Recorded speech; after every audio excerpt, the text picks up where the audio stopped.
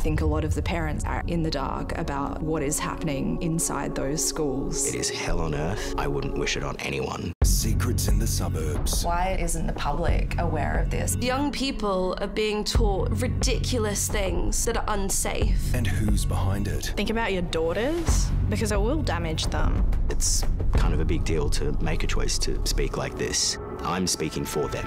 Four Corners, Monday, ABC TV and ABC iView.